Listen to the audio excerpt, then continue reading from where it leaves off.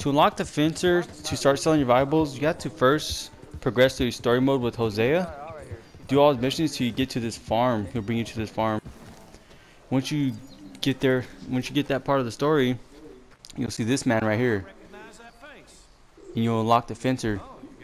You'll be able to sell all your valuables and jewelry to him. Everything.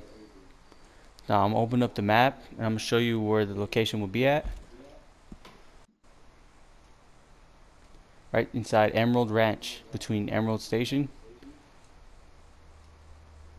east of Valentine.